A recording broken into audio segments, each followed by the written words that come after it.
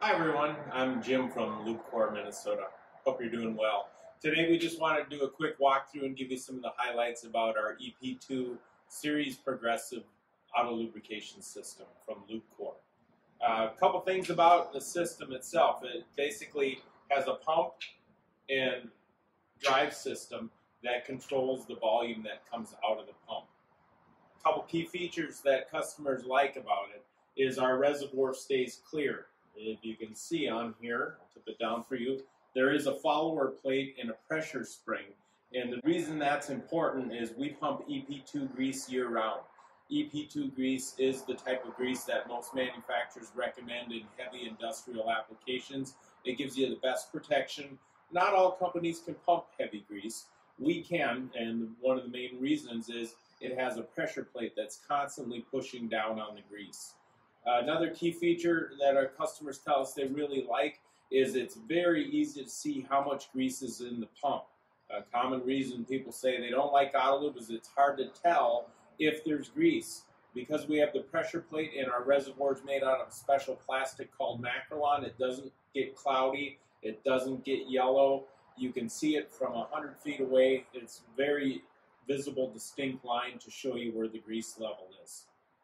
The pump itself is constructed of a lot of aluminum and stainless steel, which in Minnesota's environment, we have a lot of issues with heat and cold, road salt, road grime. Some of those can be very corrosive on pump components.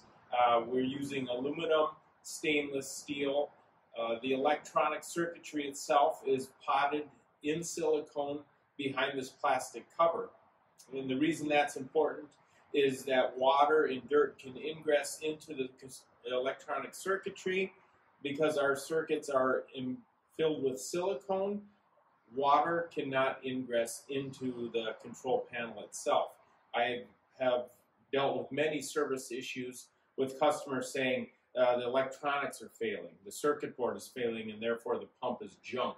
This would be something we hear in our competitors.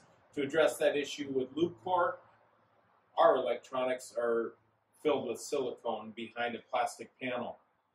To control the pump itself, the switching is magnetic switch. There's no external buttons or switches that after repeated exposure to sun and moisture, uh, they can sometimes crack and fail. It allows water to ingress into the switching mechanism and then it eventually fails. The magnetic control is uh, no contact.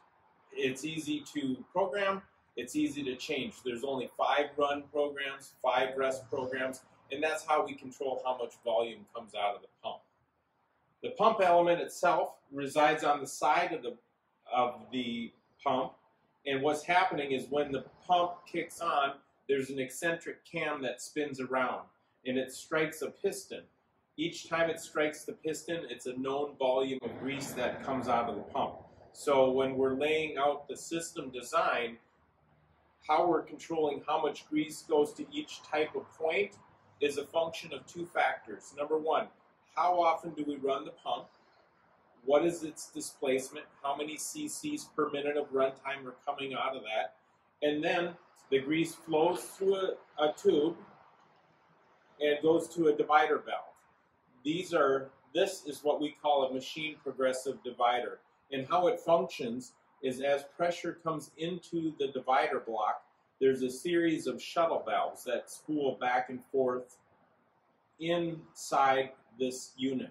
If you cut it apart, you would see there's all sorts of cross-porting.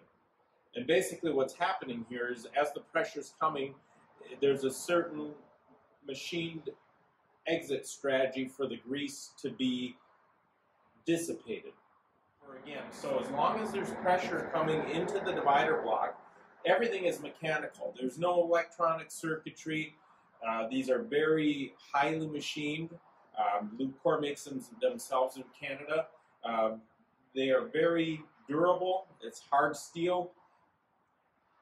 They can handle tremendous amounts of pressure. You know, in a system like this, on a application out in the field, a pump can generate enough pressure to feed a uh, concrete conveyor that pumps seven stories straight up in the air. Gen system pressures generally we like to see about a thousand pounds of pressure or less. Now, now people say, well, considering that it's really cold out, shouldn't we see more pressure?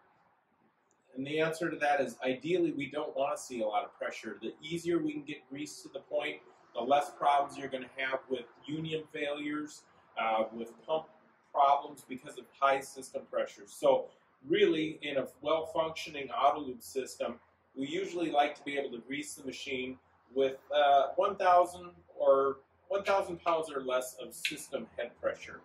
Normally in the field install, this is a display stamp, but normally we would integrate a pressure gauge right here in the pump face. So as an operator, as a mechanic, you would be able to, by using the magnetic switch, confirm that there's system power.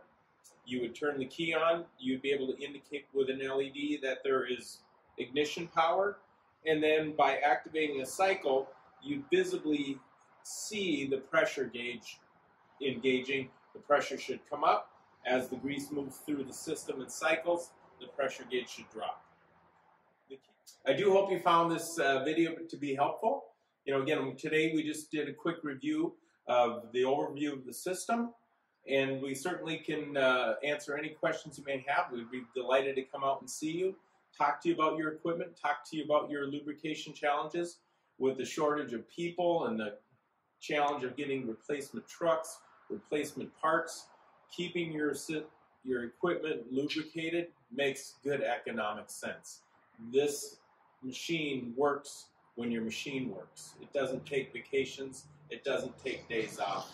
It functions and it protects your equipment by giving it fresh baths of grease once an hour versus once whenever you get to it. If you have questions, please give me or my team at Lubecore Minnesota a call or send us an email. We're happy to talk to you. We're always uh, interested in hearing your questions about auto lube systems. We service Lubecore. Uh, we also see a lot of other systems, and we're confident we can shed some light on any of your auto lubrication problems.